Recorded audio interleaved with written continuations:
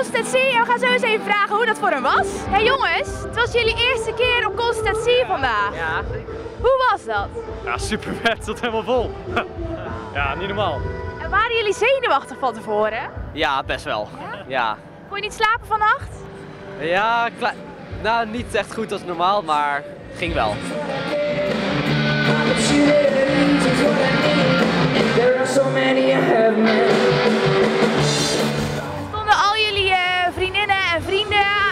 Vooraan?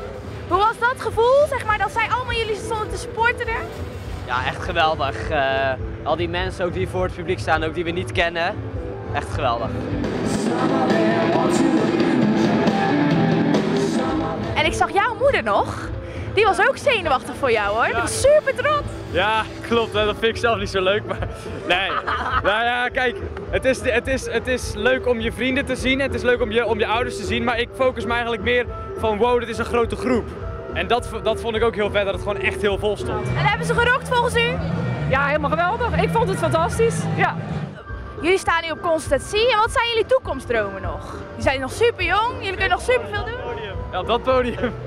Ja, hopelijk over een paar jaar eh Ja, dat we daar zeker. mogen staan. Dus eh, Bluff, als jullie, eh, als jullie dit zien, over twee jaar of zo, zijn jullie aan het podium?